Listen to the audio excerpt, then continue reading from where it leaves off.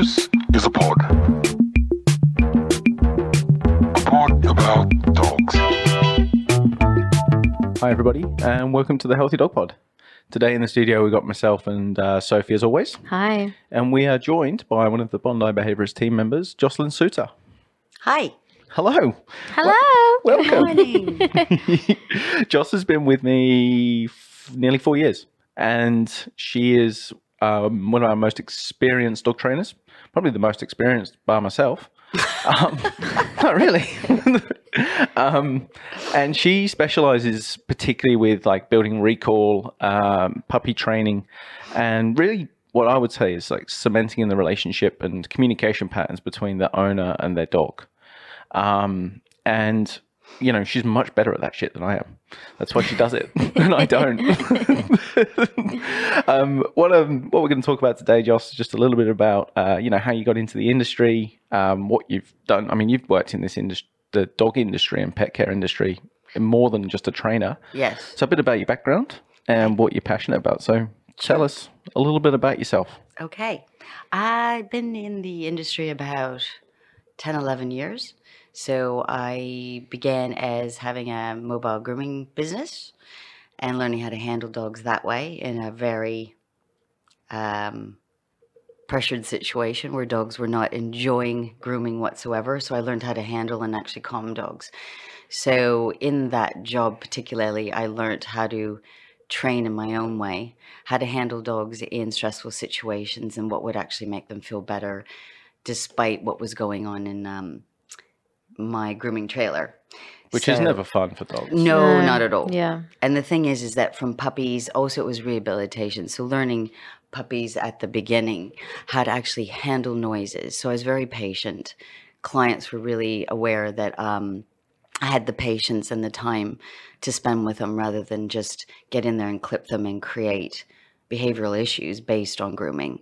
So a large part of that started in that business. And it then brought me to wanting to extend my education with training. So got into dog training with you Yeah. and basically worked alongside of you for a while.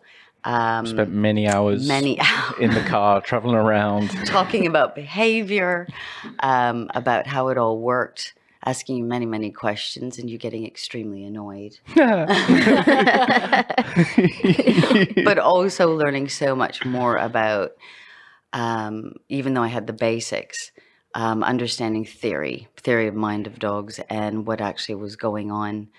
Um, dog psychology. Well, dog psychology. Yeah. And then took a course and um, became a trainer.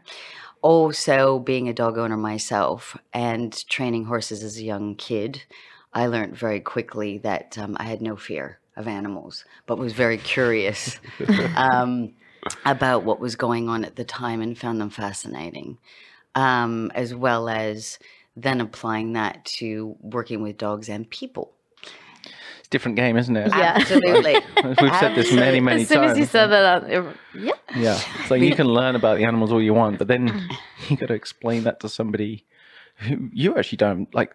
The thing is, when you're having a conversation with somebody about dogs, like you don't know their No. level of understanding and comprehension. Absolutely No. not. So you're just like, oh shit, I gotta. I don't want to. I don't want to teach you how to suck eggs, but I also need. Re- I really need you to understand everything going on. as much Yeah. as possible. Well, that's it too, and that's where I also being a teacher in Japan, and What? I having- didn't know that you were teaching in Japan. Yes, I was teaching in Japan. I was in Japan for five and a half years, and I was a teacher. I went over from Canada when I was young, younger, girl. Can you speak Japanese?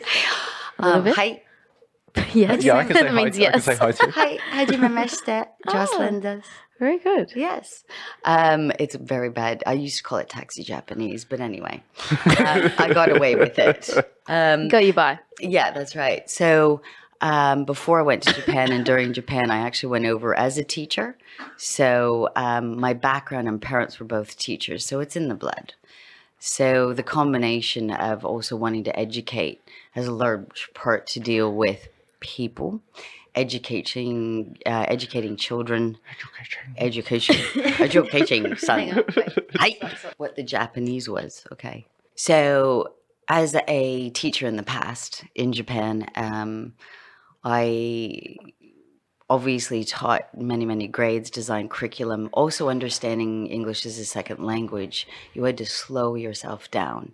You had to enunciate and actually make sure that the kids understood in a different language what you were asking of them. Same thing applies when you walk into any consult, any puppy school that we do and I do, in that the dogs are one thing, but uh, teaching and educating people to understand what it is is going on with their dog is paramount.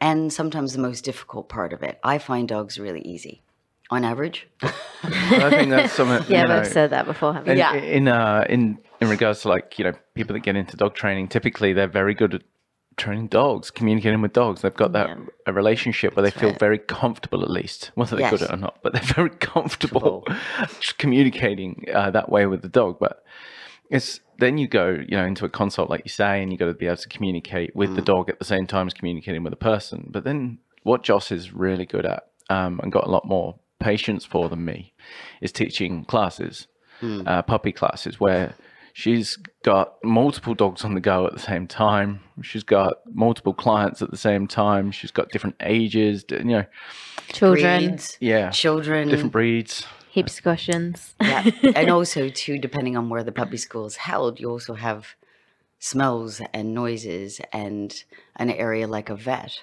where the dogs come into a space and we have to actually make them feel comfortable as well as the people feel comfortable with strangers and other dogs and breeds and sizes and ages.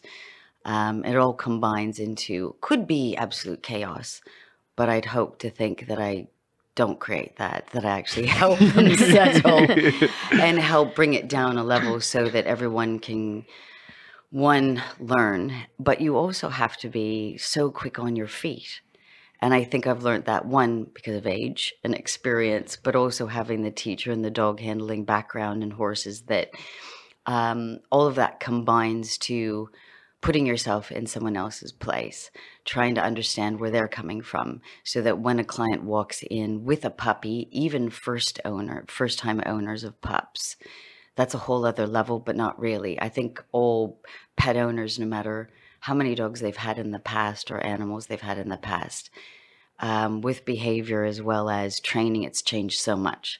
Um, even from when I was a child and how I trained my puppies when I was young, I had that thing that I was able to do it.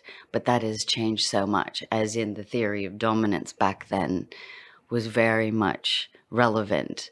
Um, it was about physical force and not actually listening to your dog or actually teaching um, and Just making it being a- comply. yeah, Yeah. and yeah, being yeah, exactly, and also not watching body language. But I actually did know that my some parents. yeah, some no. people really intrinsically um, just aware of that and they it's not about them making the dog comply they even though that's what the information they've been given That's right. it's like that's the- that's the way I always saw it. It was like Mm. I, I knew I only knew you know in terms of what I'd read and heard and was dominance theory, but for me it was never about tr- just making the dog comply. Like you don't. uh It was always more than that. You know, the dog was communicating back, and some some people it's just from day one they they're having that conversation with the animal, and yeah, it's. But yeah, like you and say, also just um, you know recently with uh, classes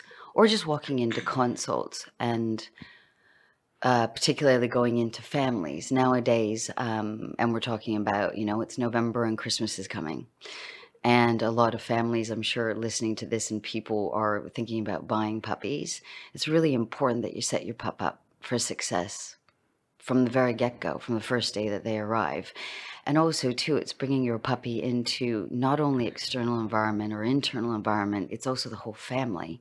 So teaching a lot of children to understand puppy language puppy body language what is expected what they're actually doing at the time and also teaching parents the relationship between children and dogs and what they should be aware of and what they could actually be um, doing differently to not create problem behaviors with their puppies because of their children because there is a certain age as in we say nine years old when kids really understand um, Well, yeah, I mean, there's that study, isn't there? Like, I think it was you you said nine. I think the the last study uh, I read was seven. So Yeah. but then who But was then- it? So you listened to I listened to somebody uh, Hannah Saggrove over in New Zealand. She was she's uh, uh, don't uh, don't touch my dog campaign. Ignore She's my like, dog. Ignore my dog. Ignore That's my the one.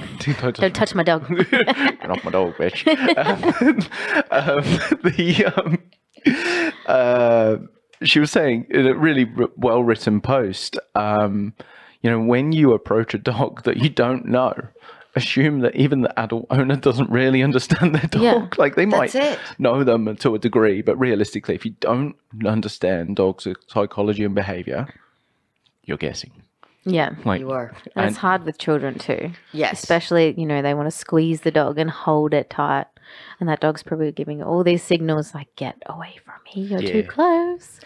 That's yeah. it. And then the worst case scenario too is, and it has happened um, with clients of mine, in that the children of you know four children under the age of seven were unaware of what they were doing. The mother was unaware, and the father of what was going on. The dog was extremely agitated, um, starting to become aggressive.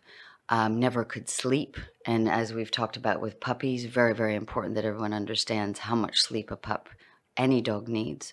Particularly as a puppy coming home, it's really important to introduce them into the house, but make sure that their area of where they sleep is dark and um, it's separated theirs. and is theirs and is a kids. confined space, you are not doing your dog um, any favors by putting them in the middle of the lounge in a thoroughfare with four children, such as boys or girls, that are running around with bicycles in the house, and the dog is never sleeping during the day or evening.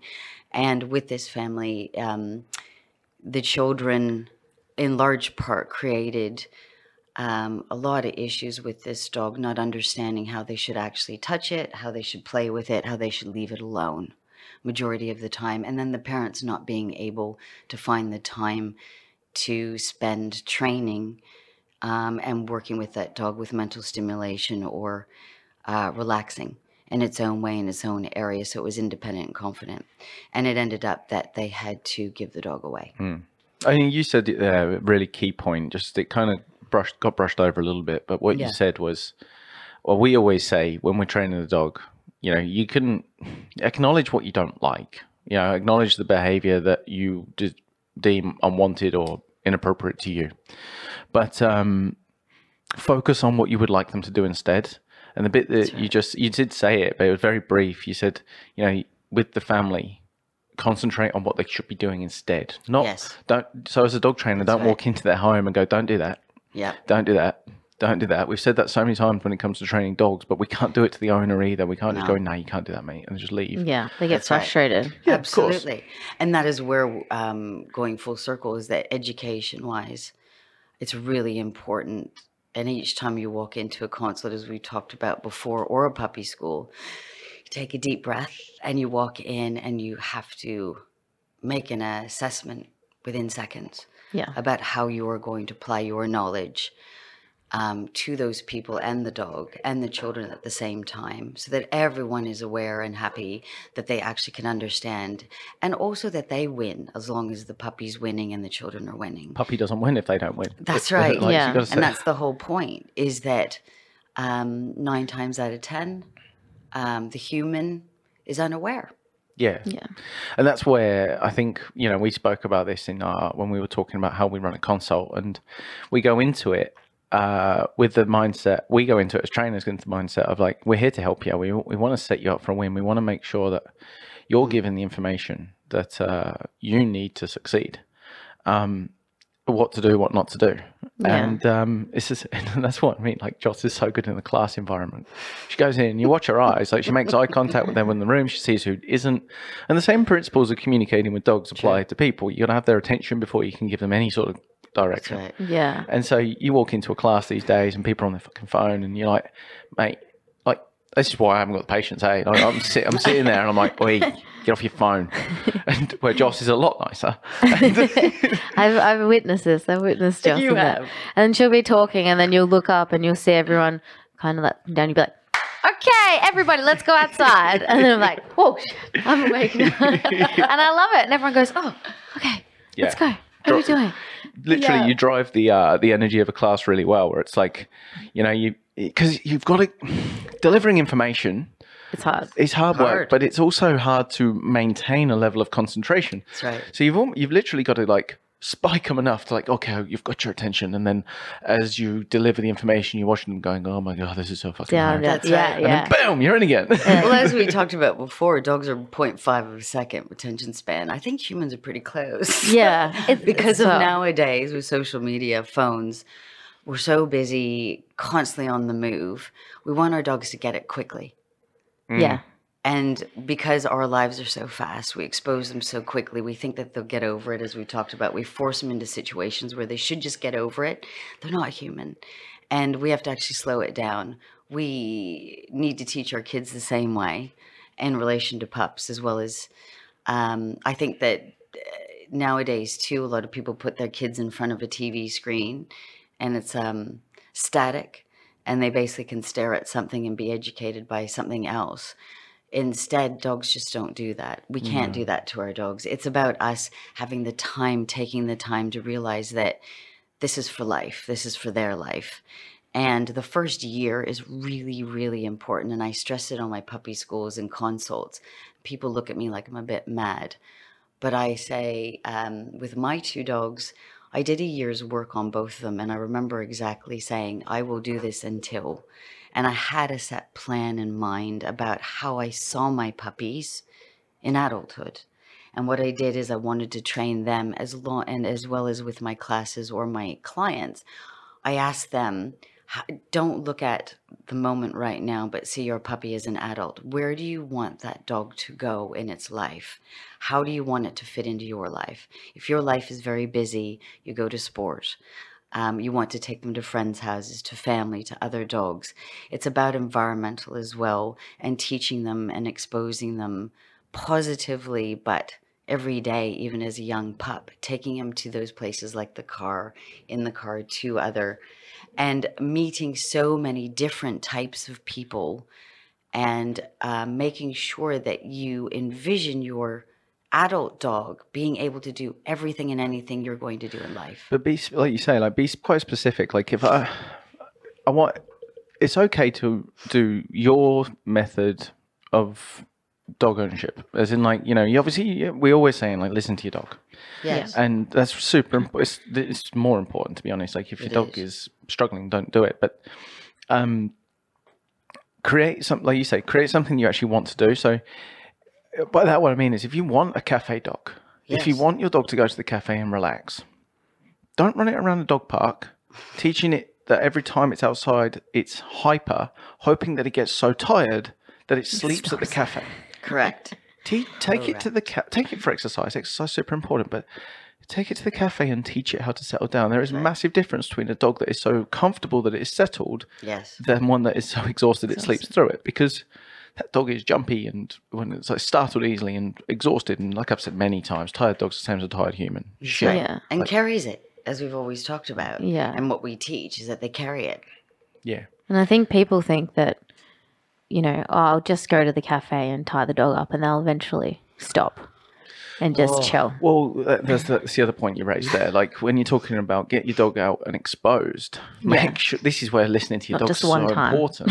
That's right. make sure it, exposure, getting used to it. I saw another really good post uh, recently. Getting used to it is not enough. Yeah. It's got to be positive for the dog. Yeah. And as a, I mean, I see, I see, typically I see two types of, two extremes of uh, like dog trainer. You've got the punishment based that like create fear. So like you're sitting at the cafe, nah, don't move, Don't and like move, yeah. correcting the dog, and you just create a bloody tense, weird, weirdo of a dog. Like just well, can't move, can't socialize, can't look over there, fucking weird. And then you got the other extreme, and don't get me wrong, these are better than the punishment based, but they're they're like the hyper positive. They're just like I've got to make everything fucking rainbows, and everything like you know everything's got to shoot glitter out of his ass, and it's just like mate, calm the fuck down. Every time the dog looks at something, you're like yes, like no, mate, Yeah. you're just trying to It's normalize it. Yeah. That's what socializing and habituation is. It's like positive, but doesn't positive doesn't have to be overstimulating. Is what I'm Yeah. getting at. Yes. And you see that well, it's sometimes. all in moderation, correct? sometimes when you go, like if you do a too high pitch yes, you see the dog go, oh my god. So just yes, Yeah. good job. Taking your Good dog job. out and creating positive associations doesn't Yeah. have to be m- mentally hyper. Yeah, and also over time as well. It's just not going to happen the first time you take them to the cafe. They're going to settle. You have to do it over time. I have a client at the moment, and um, she's pregnant, and she said to me, "You know, I want these dogs to be cafe dogs because I'm going to be going to the cafe um, a lot. So what we're working on at the moment is just settling them outside of the cafe. So just teaching them how to settle in a quiet environment mm. and then slowly building up to more busier environments. And then eventually I'll take them to the cafe and get them to settle. Mm-hmm. And she even said the other day, she went and sat down with them and she's like, they actually sat down and stopped. One of them went to sleep. And I was like, it's just practice over time. It you do little bits over time, making it positive for the dogs. It's the same one, like the same principles apply in the dog park. If you want your dog, if you are the guy that wants to take your dog to the dog park heaps, great. Mm. But f- so many people go into the dog park and like go, right, okay, we're here for you to go and socialize. Off you go, son. And then two weeks later, why won't he come back? Because you made it about him leaving you. So take your dog to the dog park, call him back. Like, make it about you and the dog. Nobody calls the dog trainer because they can't get the dog to come back That's right. concentrate on that first and let him go, and then call him back because he's good at it, rather than off you go, son, into the wind. Like, ah, shit, he won't come back. That's when we get a phone call. Yeah. well, that's the other thing, and then that leads into socialization, and you guys have already talked about that at length. But a lot of clients, particularly in puppy schools, come to those courses for that reason to socialize, But they don't know what it is. but they don't know what it is. So the thing is, is that we as trainers, so in puppy school, a lot of the clients that come in and sign up for the course do come in thinking that socialization is play, play on play on play on play. And they also are very aware of the critical period, which is up to 14 weeks, in that, oh my God, my dog has to play with everything and anything constantly until it's 14 weeks old, and then I'm good, I'm gone. Done. and it's it, actually yeah. not the case. So in my classes, it's really important that I teach that it's more about reading your uh, dog's body language and actually interrupting play quite often. People do look at me quite funny, think I'm quite mad when I say it. Well, you are mad. I am mad. I'm mad about dogs. no, no, you're mental, mate. and I'm yeah, pretty bad. yeah. All those listening. Yeah, I am. Um, but at the same time, we w- we want to set them up to win again. It's going back to the very beginning, and uh, it's a challenge in each class because you're putting a dog, particularly in puppy school, into a small space with strangers, people, children, movement, noise, which are the two triggers, as well as the smells of the vet, as well as sizes and shapes and ages of breeds that have to get on together so they think. It's not necessarily the case. Um, in a lot of incidents, you have dogs that um, hump the whole time. You have dogs that are actually screaming to get at the dogs and want to uh, be boisterous and jump all over the dogs. You have dogs that are timid and have no clue and do not want to play with those dogs. So it's about making sure the interactions are always positive, teaching the owners to be aware of that and why it's happening behaviorally, but also too how to actually give them the tools to handle that and make sure that every interaction with other dogs as a puppy leads to interaction outside to the parks once they can and that it's not it's always about um, listening to other dogs and being able to back off as we always talk and not about playing with every single thing it can Well, you, you've sorry, I'm going to cut in because Yeah. you got one of the things that I want to. Uh, you've said it a minute ago, as in we've talked about socialization before, and we have, Yeah. but appropriate for this episode for anybody else Yeah. that hasn't listened to that socializing episode. You know, we we explain that a social dog is a dog that can react appropriately to the cues and that it's Mm. being given. And habituation is about just normalizing the world and creating calm association. So everything that Joss just talked about is absolutely bang on. But I wanted that detail to be out there because, you know, that dog that is hyper and screaming to get at the other dog is not being social. Yes, he's friendly. Yes, he only wants to play, but he is not being social because he's not listening. He's not thinking properly either. No, he's not in that frame of mind. He's going to be set up to fail if you let, Let him him go up to that really timid dog. You're setting both individuals up to fail. Correct. Like that that dog that can't show any restraint. The, it needs to be we put emphasis on the owner then to build the relationship between the dog and the owner to call the dog back and they're like oh but he just wants to play yes you're never going to have a fucking problem with this dog playing unless well you will if you only ever let him off That's right. but that's not what you need to work on the, Yeah. letting him play is the easy part Yes. work on building your communication patterns and being able to call him away from play. And that dog that is asking for space and, and not engaging and curled up in a ball in the puppy school, he'll come out of his shell if you let him, Yeah. but not if you swamp him. And if you uh, let that dog off the lead, and we see it, we see these videos of puppy schools, don't we, where the fucking dogs are running around, Don't. absolutely loopy, and you got dogs barking at one another, and Toys everywhere too. yeah, a bit crazy. Yeah, using the squeakies or bowls or whatever it takes to actually add stimulation and movement, which is the things that you don't need. It's a lack of understanding of what positive is. yes. Yeah. positive doesn't have to be crazy. I Yeah. know I've already said it, but positive it has to be. It just has to feel good. Good experience. Yeah, and that depends on the individual. And there's a massive difference. I've said this before as well, but there is a difference between want and need. Hmm. Yeah. And you have in a group environment, you have to look after the one that needs it the most. So that dog that wants to go and play is oh, well and good. That's nice, but the dog that needs space is the one whose pace we have to go at. Yeah. because and and you know what? Both dogs are going to win. If you set that up like we, we always teach people and you know when you come into class please do this. Like Yes. bring your dog in and con- start working on you building your relationship with your dog. Sit down loose lead focus on me use some food rewards. Yeah. don't come in and let your dog go bananas with all the dogs and then try and calm them down. Same as in dog park. And that dog that is sitting under the chair, nervous, is go, all of a sudden going to see this other individual putting no pressure on him, and you're going to get curiosity because he's not being overwhelmed. That dog that's was crazy and trying to get at the other dog is now concentrating on his owner, and they've got they've built their relationship. It's win-win. That that owner can let that dog off and let it go and play whenever they want to and they choose to, and the dog that lacks confidence is growing in confidence. Yeah. Whereas if you just let it free for all, well, you, well, you Well, fuck. That's like Yeah. sometimes you would get the same. You know, some dogs actually aren't fit to play with other dogs. Exactly.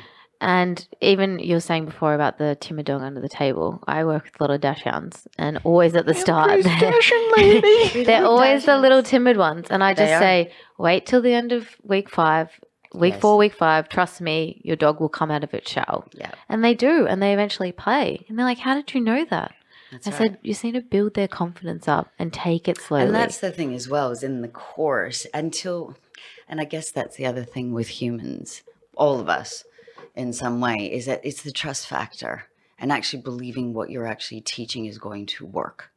And so at the very beginning, they don't see it. And then you say, do the work, be patient, let's see what happens. It's not always a guarantee.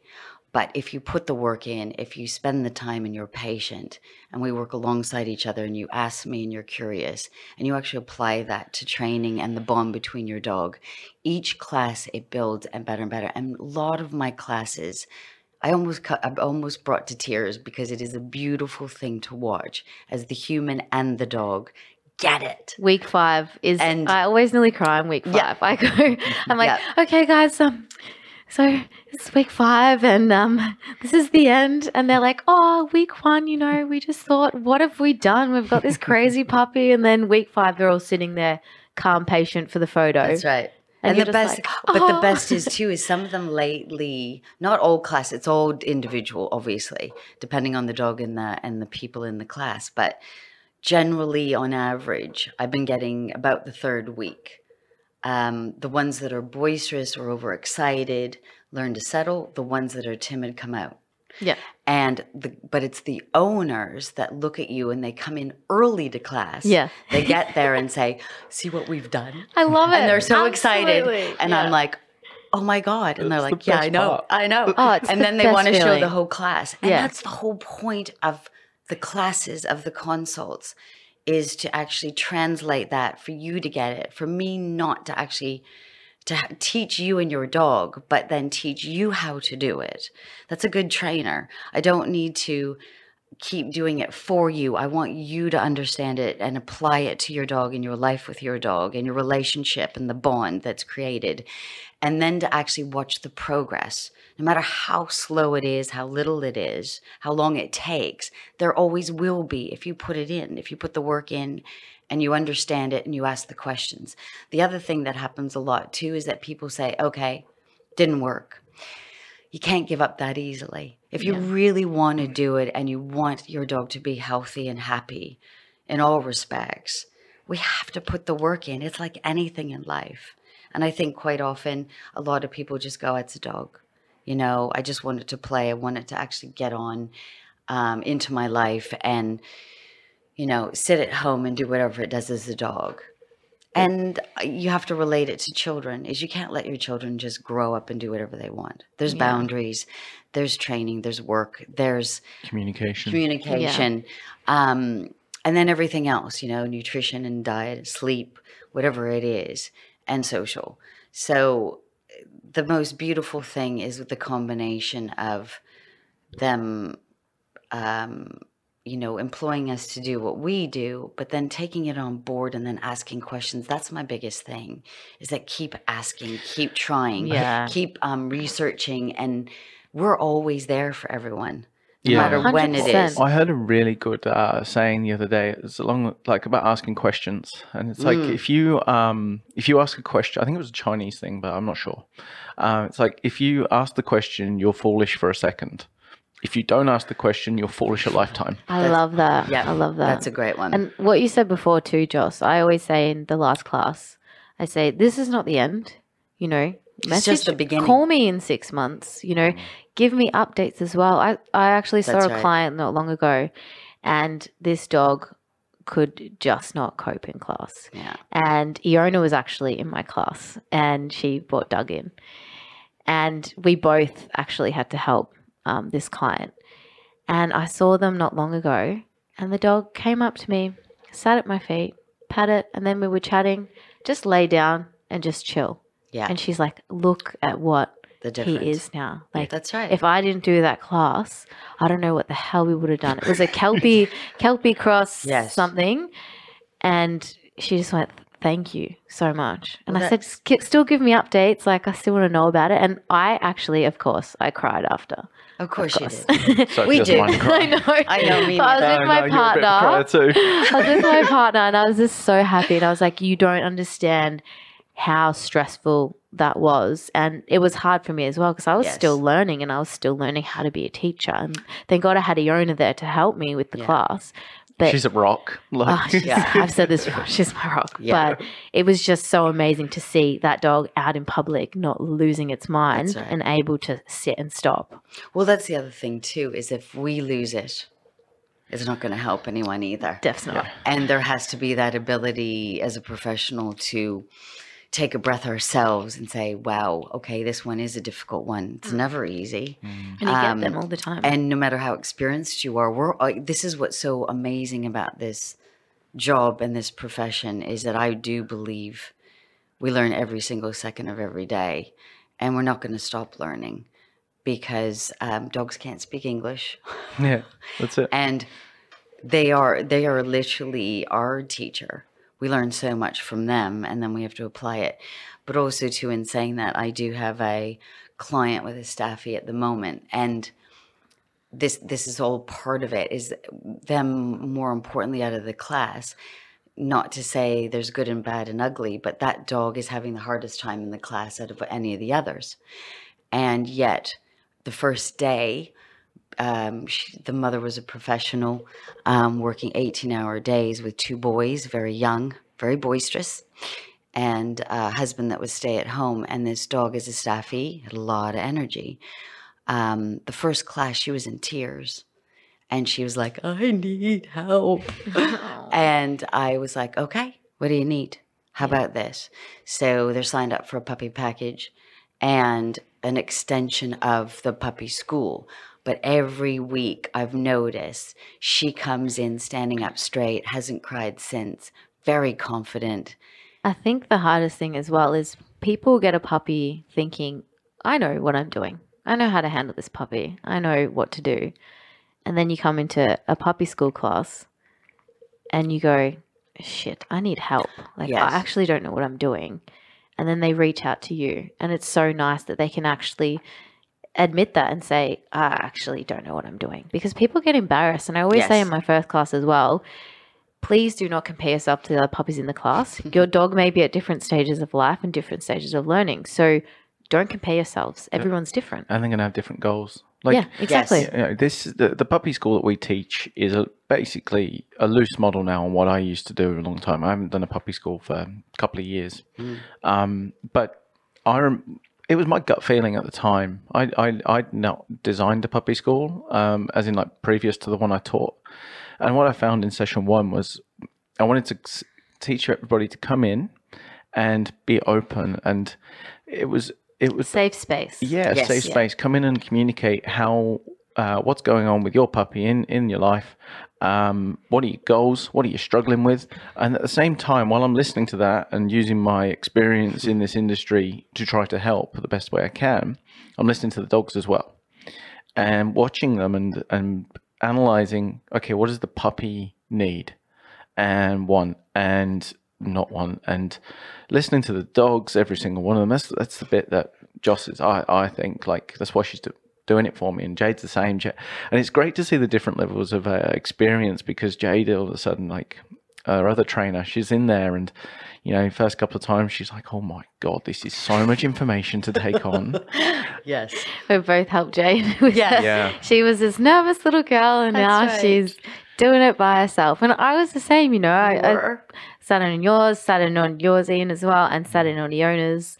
And the first session, I just remember being like, "Oh my god, I was so nervous." And that's what we so talked scared. about before one on one consults are one thing, and groups are other. Even when we do Groups group classes, Yeah. Oh yeah.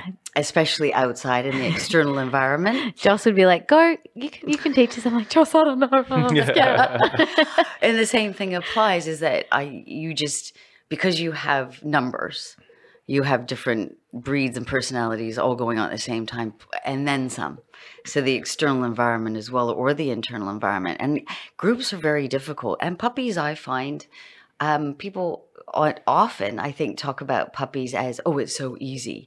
I don't believe that's the case. what were you saying? I literally sat a puppy last week, and it's 15 weeks old, Mm. and I just went, "Oh wow, I'm not ready for a puppy yet." And I suggest go and sit a puppy if you want to get one. Go Yeah. and sit one first because it's a hell of a lot of work. Don't do It it. is. Don't do it when it's just sleeping. That's not reality. yes, no, No, and that's it. Like you know, the information you can deliver in a class as well is uh, is less so than you can with a one on one. that's right. You know, you can give a baseline of information, but uh, to a degree, it will be generic until you Yes. until you Yeah. ask the individual.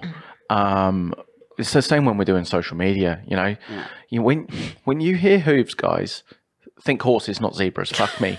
You know, if it's if you're the anomaly, it is not aimed at you. That generic right. piece of information in a class or online is not aimed at you. If you're the anomaly, if you're the zebra, then it doesn't apply. Well, I think too that goes back to what we were saying about asking a question, is that also too putting it out to new clients coming in or thinking about pups and classes and what we offer as a service.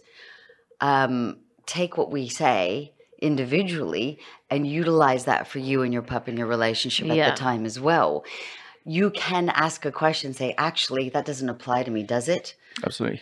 um, or how does it apply to me? What Yeah. more can I do with that information? It's about you also not being part of the herd, so to speak, or the group, and just standing there and saying, "Okay, yep, I'll do a sit. No, I'll do a sit today." Okay. Um, it's about how much more can I do to make it better between my dog and I in the realms of what you're educating me to do. We're there to educate, but we're also there to provide a service and then some because you can get whatever you want out of it or you can sit back in the sidelines and go ah that's enough it depends on how much you want to get out of it and i think the more you get out of it the more you're going to learn the more your puppy's going to benefit um, in that realm as well and when it comes to puppy school um, the whole idea that going to puppy school is to some people i think still is that it's all about play and Why are you trying to teach me anything? what are you doing? You're standing up there talking about problem behaviors that can come about, that there are fear periods, that you also hit juvenile period, that, oh, there is life after puppydom, and that um, basically we are actually educating you within the realms of that puppy class. And it's not just about social play. You need to be aware of what is next. yeah, Yeah. set you up for a win because that's it. And and puppy school is not the end of the training. No, and I do believe it's just the beginning, and there's a lot of work to be done. And as we all know, puppies are work, um, but the work that you put in creates a better life for you and your pup and the family. And when Doing- they leave puppy school, you know, this is when Yeah. later on down the track you step in again and like you've got that correct. relationship with that puppy school, that puppy client from the school, and you can come out and you can, you know, assess the home and you can get to know them a bit better. That's right. And this is the whole point too: is that puppy school is one um, element of it, but there is follow up after that, and there is also the setup. And as your dog ages, it's really important that you keep the training up, um, and you still c- continue to do the work as the dog grows in the first year, Keep and also exposing it. it. And it's really important to expose your pup. Um, we offer um, an exposure, positive exposure checklist for all puppies, so that um, even during the early times that they're really getting exposed and desensitized to noises and the external environment um, at a really young age with you so that that world outside eventually doesn't become scary. And um, everything you want your dog to be for the rest of its life becomes a positive um, and creating that really calm association and bond. That's it. You said it a minute ago about how when you stood there in the puppy class and you are engaging the person as much as the dog, if not more, uh, and they're looking at you like you're some weirdo, what you're trying to do is set them up to normalize the world so they don't have a fear response. That's right. So that like, puppy exposure checklist, you know, you you might not live near a skate park, you might, you know, but it's on there. Like we've tried to come up with as many options for you to consider, see it, and go, yeah, do you know what? That is actually part of m- this dog's environment. I need to normalize that. And this is where you know after puppy school's finished, give us a call because yes. we're not we're there for you. That's our job. We like our job. Yeah. Yeah. Um, we don't just go, yeah, bye, on your way. We're like, Exactly. we're actually, yeah, we actually care. And how many? I mean, we send a que- uh, questionnaire out to clients after Yes. uh, when they're doing a one-on-one. What uh, what previous training? One of the questions in it: uh, What previous training have you had with your dog? And so many have just they write down puppy training, was, yep. and the dog's seven. You're like, That's right. well, shit. You mean that dog hasn't had any training for seven years? That's what I'm getting at. Is like puppy school and puppy training is the beginning of you creating a communication pattern with your dog and understanding your dog, so that you can then, um, you know, continue doing it. And it's incredible to watch and see clients and owners of puppies that have continued to do the work and the training beyond um, that time. It's evident, isn't it? And you It's can tell. evident. Yeah, It- you can 100%. completely tell. And realistically, we love the business, but we would rather pups to be um, growing into um, a having a better life and not having to go through the dogs that we train at six months and after because they didn't have exposure. yeah, yeah. I mean, dogs are they're always learning, aren't they? They Yeah. always are. I think people don't know that. I, I, I- I think you're right. Actually, Yeah. I mean, it's you say it out loud and you automatically go, "Yeah, of course they are." But genuinely, people get Yes. stumped, and that's something we see all the time. They go, "Oh shit, you're right," um, and they forget that they are learning, and you know they've trained it to sit, or they've trained recall at home. And then they take it to the park and go, why don't you know it? Or they continue to take it to the park, and just because it used to be good at recall in the park, they don't bother anymore. That dog is learning that other things are more fun than you That's or right. more interesting than you. And then you end up resorting potentially to trying to grab your dog, and then you're trying to snatch your dog, and your dog's trying to evade you. Well, yeah, there's consequences because your dog is learning, That's right. And so are you. And that's where putting in those foundations. You Mm. said it a few times today, like getting a dog is work. I've said it for a long time. Getting a dog is work. You either do the work or make it hard work. That's right. And, And keep working. yes, exactly. Just keep working. Keep like a- at it. It's like a relationship with a human. You know, your partner. If you get complacent and stop communicating, they will resent you. They will. right. They will leave you. They would basically tr- not. You won't have that relation same relationship as you once had. You have to maintain the relationship. Well, I do really. Um, one of my famous sayings to a lot of my clients who um, all know, I always say, "You can teach an old dog new tricks. Look at me." Yeah, Just that's it. Well, you know, you got into this industry ten years ago, having right. lived a whole different professional life. We're not talking about my age. We won't say it out loud. she's twenty, Yeah. obviously. Joss has had lots of experience. I've And- had a lot of experience. Yes, I'm an old dog, but young at heart. Yeah. but that's it. You know, oh my gosh. we're always learning. Dogs are always learning. That's Yeah. the way brains work. Um, and that, that new information is challenging, um, especially when you're got such a memory bank of prior learning. And this is where, you know, you, you receive something new. You probably you probably inclined to push against it if you have an opposing theory. Um, and uh, this is why we continue to study ourselves because we don't know everything. Ah. We are only ever teaching what is current. And when somebody says, "Oh, science is just changing," I'm like, "Yeah, that's what science does. It evolves." Exactly. Like, Yeah. Of course, but what are we meant to do? But like, nah, that's new information, so I just completely fucking ignore it. I don't want to know it, um, and I'm going to stay where I am. No, like, come on, mate. Like, keep up. Like, sure, if there is not a big enough evidence base, be, be skeptical, Yeah. but you know, bear, bear it in mind. Don't just roll it out. Consider it as an option at least. Read. It was in, um, we live in a world at the moment where we've got an algorithm bias. So everything you open up online is there to please you. Um, it's there to trigger the dopamine. That's the way Facebook and Instagram and all the social media works. You are uh, Google. You if you've got a different political uh, values to me and different search history to me, we can Google the same topic and get different results because that's the way the internet works. And what the danger of that is is that we end up uh, reinforcing our own beliefs regardless of whether they're right or not. We only actually want to hear what we want to hear. And as soon as we're presented with information that challenges that we push back. That's why social media doesn't do it. The social media is there to make you stay on there. Yeah. uh, i'm that's- not there to rant about social media. I'm on it all the time. But I was going to say that's even um, one of my clients in puppy school uh, said they read a study about tail wagging.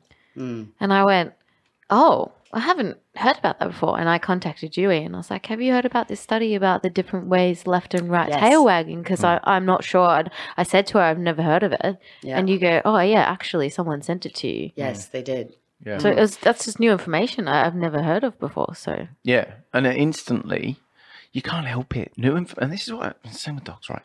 You get new information. Survival says treat No. new information as with skepticism, That's Yeah. right. and you will instantly go nah.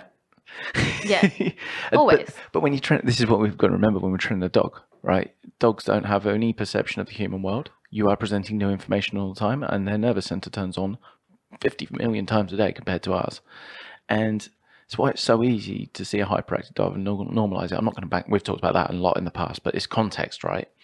And when you're, what I'm getting at is when you um, presented information, be open minded That's right. you know we we try to be and it's bloody hard you know I'm, i try to practice what i preach but that's again that's why i go off and study because i want to go and learn from people that have got the most current information and these guys will i'm going to go and study in january and they're going to challenge me and i'm going to basically i know what i'm like i'm going to go oh, this is Yes. difficult to digest but that's the point I, i've not But got that's why you're actually going to do it. yeah that's it yeah because it's a growth mindset That's right. and you want to learn, exactly Yeah. And unlike people, some other people. and our clients do too. Yeah. Well, that's why they called you. They Yeah. called you for help. Yeah. That's exactly. right. There was a reason. So Yeah. yeah, trust it. Exactly. Right, guys. Joss, Thank thanks you. so much for Thank coming you you. guys. It was my pleasure. in. it was all Loved us. it. Loved it. Thank you very much. Uh, we will put that uh, puppy checklist uh, exposure checklist on the um, on social media for everybody. It is available on Yeah. our website. Um, you can go in the fact sheets; it's in there, but we'll put it In online. behaviors. Correct. Um, uh, but yeah, thank you so much for tuning in, guys. Leave your feedback and, um, and give it to us. That'll be great. Yeah, just let me Okay, then. Uh, Words. All right, guys. Thank you so much. And remember, a healthy dog's a happy dog. Woo! And that was the pod.